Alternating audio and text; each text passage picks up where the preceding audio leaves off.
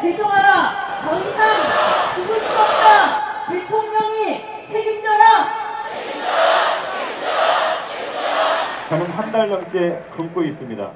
그렇지만 배가 전혀 고프지 않습니다. 국민들 때문에 희망을 갖습니다.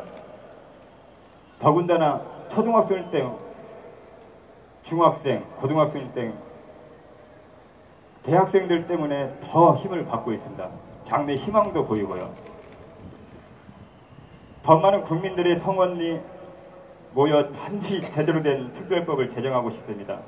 그래서 다시는 이러한 참사가 일어나지 않게 만드는 것이 국민들에게 은혜를 갚는 것이라고 생각합니다. 교황이 떠난다고 특별법 제정 못하는 거 아니기 때문입니다. 국민의 힘이 하나가 되면 꼭 특별법은 이루어집니다.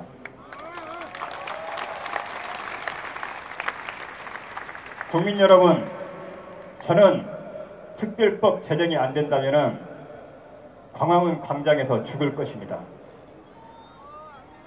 꼭 도와주십시오. 저희 희망입니다.